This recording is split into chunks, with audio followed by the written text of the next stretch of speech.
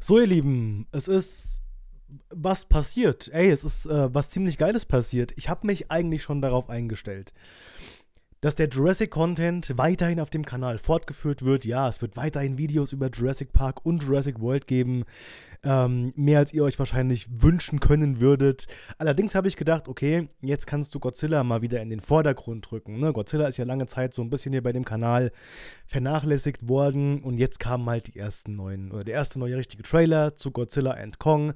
Wir haben Godzilla Minus One bekommen. Da ist ganz, ganz, ganz, ganz, ganz viel Content im Hintergrund noch in der Planung. Und eigentlich war ich schon voll im Fokusmodus. Jetzt geht's ums Thema Godzilla. Ja, jetzt ist anscheinend gestern, gestern Nacht zur Aufnahme dieses Videos hier, ist ein Trailer gedroppt worden. Und ich habe das mitbekommen, so oberflächlich. Ich habe mir das, ähm, ich habe das Thumbnail davon gesehen und dachte mir, gut, ist halt wieder irgend so ein Game, aber ich bin irgendwie nicht auf die Idee gekommen, dass das jetzt hier was richtig Großes sein könnte. Einfach aus dem Grund, da ich mir gedacht habe, ja, sowas wäre doch vorher schon angekündigt worden. Bereits vor einem ersten Trailer. Sowas hätte man doch irgendwie schon mal gelesen, dass da was in Produktion ist. Und dann ist mir aufgefallen, ja, wir hatten da auf meinem Hauptkanal schon mal drüber gesprochen. Äh, kurze Werbung an der Stelle, Hauptkanal ist da oben verlinkt. Wenn du neu auf dem Kanal hier sein solltest, ähm, da oben oben ist der Hauptkanal, wo wir thematisch immer über Godzilla, Jurassic Park und Jurassic World sprechen. Und zwar war das Thema damals gewesen, dass Fans bereits ein Jurassic Park-Spiel in Entwicklung hatten. Das hieß, glaube ich, Jurassic, ähm, ich muss es hier mal einblenden, ich weiß es gar nicht mehr.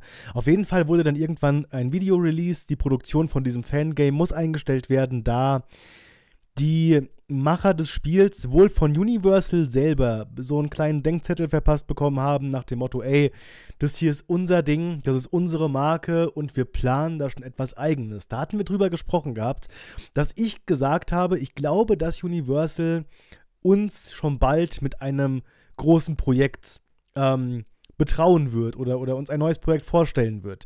Ich dachte allerdings, das würde schon zum, zum 30. Jubiläum von Jurassic Park kommen. Und damals haben wir einfach nur diese komische Collection bekommen, die, die Retro-Collection. Und da habe ich mir gedacht, okay, das wird es wahrscheinlich jetzt irgendwie gewesen sein. Nee, jetzt haben wir einen Trailer bekommen und ihr habt mir heute Nacht, sehr viele von euch haben mir heute Nacht wirklich geschrieben, ey, aufwachen, hier, guck dir mal diesen Trailer an. Der ist jetzt neu von Jurassic Park. Wohl ein Triple-A-Titel. Ich schaue es mir jetzt gerade zum allerersten Mal an, also jetzt gleich hier mit euch zusammen. Und bin echt gespannt, was die uns da abliefern. So, lange Worte, wie immer, so gut wie gar keinen Sinn dahinter. Wir steigen jetzt ein in den Trailer zu. Wie heißt denn das Spiel überhaupt? Jurassic Park Survival. Ah, Jurassic Park Survival hört sich schon wieder so ein bisschen an wie, wie so ein Spiel, das. Ich will ich schaue es mir einfach jetzt mal an, ohne schon wieder von vorab jetzt zu sagen, ich bin da skeptisch. Ähm, Jurassic Park Survival, Announcement Trailer.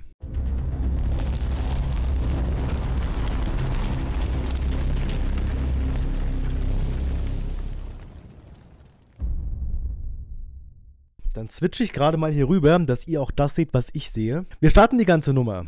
In 4K natürlich, in 4K. In 3, 2, 1 und los geht's. I own an island off the coast of Costa Rica. Really spectacular, spared no expense. Wow, was ist denn das für eine Engine? Es spielt auf der Isla Suana, äh, auf der Isla Nubla, Entschuldigung. Nach den Ereignissen von Jurassic Park 1. Es sieht unfassbar krass aus.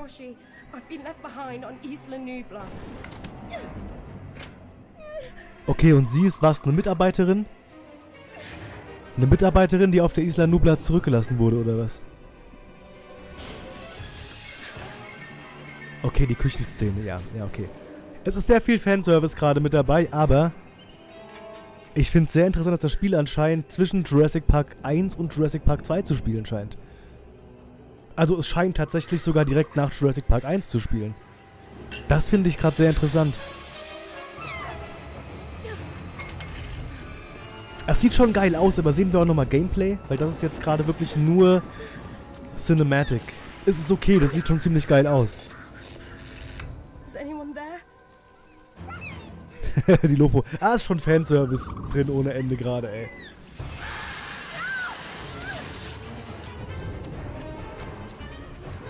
Ich will wenigstens einen kurzen Clip Gameplay sehen, bitte. Das ist, ich bin gerade voll hyped auf dieses Game. Jetzt taucht der T-Rex auf, okay. Mit der epischen Musik im Hintergrund, ey. Wow. Rexy ist mal wieder gefährlich. Lange nicht mehr gesehen. Oh, und die Musik, ey. Und Gameplay. Und Gameplay. Okay. Jurassic Park Survival. Okay.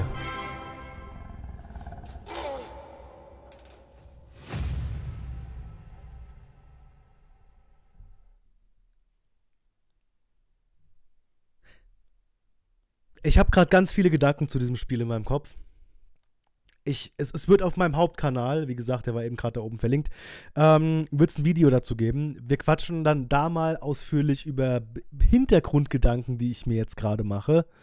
Bevor ich die aber aussprechen will, will ich erstmal diese Website hier besuchen gleich. Ähm, JurassicParkSurvival.com. Vielleicht finde ich da noch ein paar mehr Infos. Meine ersten Gedanken jetzt zum Trailer sind auf jeden Fall, das Spiel ist doch Kanon. Das ist ein Game, das jetzt in den Kanon mit einbauen. Dieses Spiel spielt zum Zeitpunkt, in dem ursprünglich hätte oder hat Jurassic Park The Game gespielt. Ne? Jurassic Park The Game ist ja nicht Kanon. Leider. Das nimmt jetzt aber wohl diesen Handlungsstrang mit auf. Und ey, ich schwör's euch, es ist total krass gerade. Wir hatten, dat, wir hatten in unzähligen Streams darüber gesprochen, dass ich gesagt habe, wenn ihr das Jurassic Universe jetzt aufbauen wollt, Geht von mir aus nach Jurassic World weiter, führt die Geschichte weiter. Ihr könnt auch gerne ein bisschen abstruser werden mit weiteren Hybriden, die vielleicht auch fliegen können. Das ist mir vollkommen wurscht. Aber wenn ihr ein Universum aufbaut, geht doch auch nochmal zurück zum alten Jurassic Park. Gerade für Fans wie mich. Ihr könnt doch damit nur gewinnen, wenn ihr Jurassic World fortsetzt, aber auch zurück zum Jurassic Park geht. In Form von einem Spiel habe ich jetzt nicht gedacht, aber warum nicht? Wir gehen jetzt also wirklich zurück zum Jurassic Park. Das heißt, Universal ist sehr wohl bekannt dass es eine riesengroße Fangemeinde da draußen gibt, die eben auch sagt, ja, Jurassic Park wollen wir wiedersehen. Heißt ja nicht, dass wir Jurassic World nicht fortgesetzt haben wollen. Das wird eh fortgesetzt werden. Ähm, in spätestens zwei Jahren, schätze ich mal. Aber wir gehen jetzt wieder zurück zum Jurassic Park. Da, ich freue mich tierisch darauf. Und dieses Spiel wird Kanon sein, bin ich mir ganz sicher. Zum Gameplay, meine ersten Gedanken. Es sieht aus wie eine Form von Jurassic World Aftermath. Auch da habe ich schon gesagt, das Spiel haben wir, glaube ich, jetzt schon zweimal durchgespielt ähm, auf meinem Kanal hier. Auch da habe ich aber damals gesagt, Jurassic World Aftermath ist ein super geiles Jurassic, Jurassic-Spiel an sich. Das macht wirklich Bock. Das könnt ihr euch auch gern für die Switch holen oder für die Konsole. Ist eigentlich ein VR-Titel, aber perfekt umgesetzt worden für die Konsolen. Das nur in echt wäre noch geiler. Das sieht mir jetzt ein bisschen danach aus. Allerdings glaube ich, dass wir in diesem Spiel Jurassic Park Survival nicht einfach nur immer ähm, Hide and Seek spielen müssen. Also es geht nicht immer nur um sich verstecken. Das sah zumindest gerade nicht so aus. Es gab auch sehr viele Passagen, wo die Person weggerannt ist oder auch mal in Gefahr gekommen ist. Ich glaube tatsächlich, meine Prognose, das hier wird entweder ein sehr geradliniges Story-Game werden, so wie Uncharted quasi. Die Geschichte ist vorgegeben, es gibt Cutscenes, alles drum und dran. Vielleicht wird das Ganze auch so ein bisschen open-schlauchiger, dass wir keine richtige Open World bekommen, aber ein bisschen Open World könnte gern drin sein. Ähm, in First Person, ich, ja, spiele Spiele lieber in Third Person, aber das ist so eine Kleinigkeit. Und die Engine, ich, ich wusste am Anfang gerade nicht, ob das einfach ein, ein, ein mit einem Filter äh, verändertes Bild aus dem Film ist, als John Hammond angefangen hat zu, äh, zu sprechen. Ich wusste gerade nicht, ob das wirklich echt ist oder ob das aus dem Film kommt. Und ähm, die Engine ist halt krass, ne? Wir haben jetzt nur sehr viel gesehen vom, äh, vom Cinematic Trailer. Und auch beim Gameplay, ich bin mir da nicht ganz sicher. Ihr kennt ihr noch das, das Debakel damals von Alien? Was war denn das für ein Alien-Spiel gewesen? Wo sie uns auch damals Gameplay gezeigt haben. Und dann kam das Spiel raus und sah einfach gar nicht so aus. Also es sah einfach total kacke aus in echt. Ich glaube, das wird jetzt hier nicht unbedingt der Fall sein, aber ich bin da immer vorsichtig, weil das Gameplay hier, das sah schon fast wieder zu krass aus, finde ich. Aber es ist halt auch eine neue Generation an Konsolen jetzt. Das Spiel hier kommt anscheinend nicht mehr raus für die alte Konsolengeneration. Das heißt, die können jetzt hier komplett auf die Next Gen Ähm, PC sowieso, das ist immer Next Gen. Aber auf die Next Gen-Konsolen aufbauen. Jetzt muss man hier keine Rücksicht mehr nehmen auf alte Konsolen. Ja. Ey, ich finde es unfassbar geil. Ich freue mich gerade tierisch darüber. Ich äh, komme jetzt auf meinem Kanal mit dem Content produzieren gar nicht mehr hinterher. Jurassic Park Game. Ähm, vor allem kommt es einfach so aus dem Nichts bei Jurassic Park. Genauso wie äh, Jurassic World Chaos Theory. Das kam auch einfach aus dem Nichts. Ich meine, ja, wir wussten, da ist irgendwie eine Serie im Hintergrund, aber auf einmal war der Trailer, der Teaser davon draußen. Und jetzt haben wir hier noch Jurassic Park Survival bekommen. Krass. Ey, ich hab Bock drauf. Ich hab, ich leider schmälert dieser Trailer jetzt hier ein bisschen meine Vorfreude auf Deathground. Aber, ja, wann soll es denn rauskommen? Wissen wir noch nicht. Ähm, 2000, Weihnachten 2025 wäre optimal für dieses Spiel, ich sag's euch. Wäre schon, wär schon ziemlich geil. Ja. Gut. Dann schreibt mir jetzt mal wie immer eure Meinung dazu in die Kommentare unten rein. Was haltet ihr von dem Trailer, Teaser? Ähm, ich bin auf jeden Fall angefixt. Und mache jetzt gleich das nächste Video für den Hauptkanal startklar zu diesem Teaser, Trailer hier und würde einfach sagen, dann sehen wir uns im nächsten Video wieder. Bis dann, ciao.